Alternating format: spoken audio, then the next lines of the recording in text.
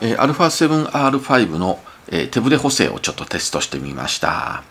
えっ、ー、と、レンズはですね、SEL の 24105G を使っています。えっ、と、今、手ブレ補正オフですね、これね。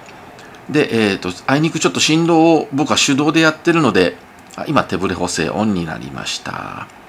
で、えっ、と、手ブレ補正オンになっていても、えっ、と、AF オン、もしくはシャッター半押しにしていなければ、手ブレ補正は効かないような仕様になっています。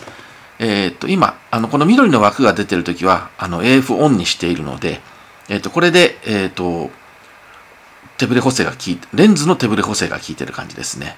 えっ、と、手ブレ補正8段、アルファ史上最高の段数になっていますが、それが効くのはあいにくこのシーンではなくてですね、えっ、と、シャッターを切っている瞬間、その時だけあのボディ内手ブレ補正が効いて、えー、手ぶあの8段分の手ブレ補正を行うというふうになっています。えーと、この時はですね、えーと、まだシャッター切ってない時、静止画では、えーと、レンズ内手ブレ補正の方を使って、えー、と手ブレ補正としていると。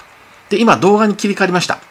えー、と動画の場合はですね、えー、とこれ手ブレ補正アクティブをちょっと入れているので、えー、とこの場合はもうスタンバイの時も、レッグ状態の時も、えー、と手ブレ補正が効いているような状態になります。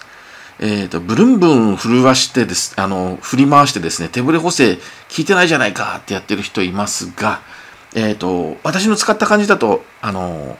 ハンディカムと違って、あの、アルファの場合の手ブレ補正っていうのは補正幅が少ないんですね。えっ、ー、と、補正の質を上げてるような感じで、あの、グリングリン振り回して取ると、えっ、と、すぐにもうそれで手ブレ補正の許容量をオーバーしてしまうような感じがします。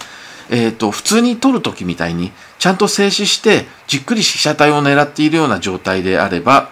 えっ、ー、と、手ブレ補正はそれなりに効くんですけども、あの、体ごと震わせてるような、あの、ブリンブリン動かすと、あの、効きはそんなに良くないかなという気がします。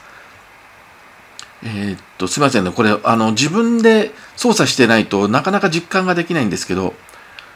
こうやって、えっと、AF オンにした時にだけ、えーと、手ブレ補正が効いてる感じっていうのはあの十分僕も味わえました。えーと、ここのシーンであの手ブレ補正の段数が上がってるわけではないんですけども、えーと、質の高い手ブレ補正8段ができてるんじゃないかなと思います。あちなみに被写体はこれ、えー、と我が家のポイックです。